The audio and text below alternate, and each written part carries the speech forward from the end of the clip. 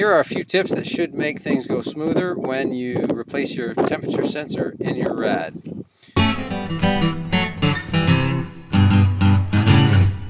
Uh, one is when you pull out the old temperature sensor, probably this O-ring is going to stay inside. Check for that and have ready a pick or this is a nail that I just bent the end and that allows you to reach in and pull it out.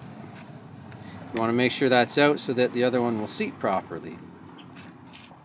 Also, make a little tray, tin foil tray or something, and this is going to insert underneath where the um, sensor is being replaced so that when you replace this clip, if it drops, it won't fall down in your engine compartment, which it did for me. If it does fall down, it'll likely end up in one of these mud guards, which you'll need to remove. And that's just a straight waste of time and not a lot of fun. So if you can see, here's the sensor. And then you can see I've just put made a tinfoil tray underneath. So if that clip drops, I can just pick it up with a magnet.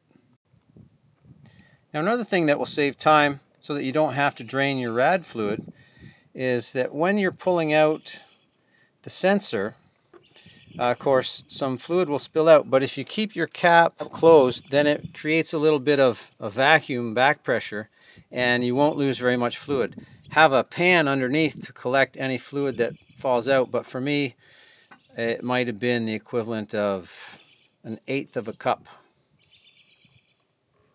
I hope those tips were helpful and save you some time. Please like and share the video, and if you have your own helpful tips, please leave them in the comments section. Thanks for watching.